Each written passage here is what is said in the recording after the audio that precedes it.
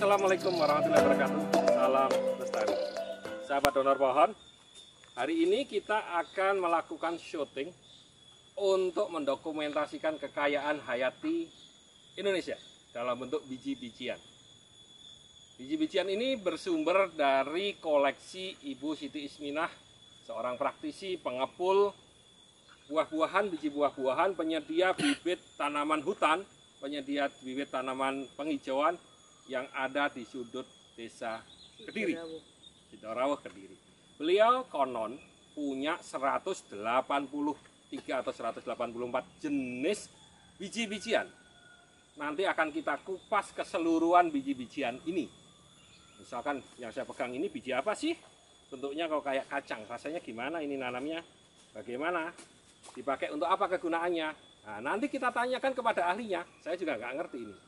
Jadi pantau terus channelnya Gerakan Nasional Donor Pohon dan Streeter Kediri untuk mengetahui kekayaan hayati di Indonesia. Salam lestari.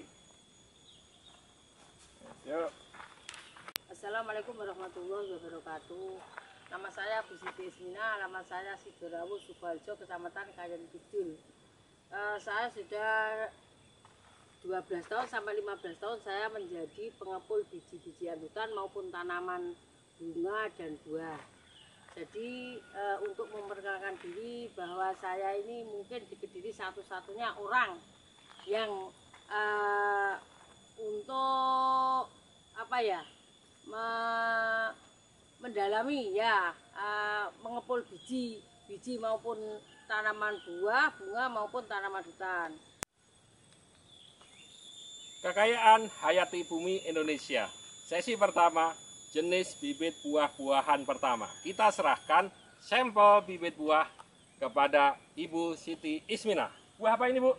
Ini adalah jenis bukan buah ini. Oh bukan buah, ini apa ini? Ini, ini jenisnya biji kepuh. Biji kepuh. Fungsinya untuk apa Bu? Fungsinya ini biasanya ditanam di dekat-dekat sumber-sumber. Ini eh, pohonnya itu untuk menyerap air. Jadi punya cocok untuk penghijauan di daerah yang sumber karena Sumber, dia mampu ya, menghasilkan mampu air. menghasilkan air. Ha-ha. Untuk di pohon eh, ditanam di jalan raya juga bagus. Itu menambah rindang pohon dan itu untuk eh, intinya itu menyerap air bisa menanggulangi banjir. Ya. Untuk penghijauan bagus, untuk pencegah banjir dan tanah longsor bagus, Dan untuk dulu, menyerap menghasilkan ah, air. Bijinya untuk ini juga bagus apa eh, kayak semacam oli ya Oh, bisa dimanfaatkan sebagai oli? ah, ya bisa dimanfaatkan sebagai oli Biji pertamax gitu ya, kepuh. ah. Biji kepuh saudara-saudara, pohonnya bisa besar. Cocok Besar untuk penghijauan. Cara tanamnya, Bu. Cara tanamnya gimana? untuk cara tanamnya nih direndam dulu dengan air kemungkinan semalam ya toh direndam air Ah, satu malam. direndam satu malam habis itu disemai di media pasir Mm-mm. cukup habis itu eh, dikasih plastik juga bisa eh, untuk liar juga bisa.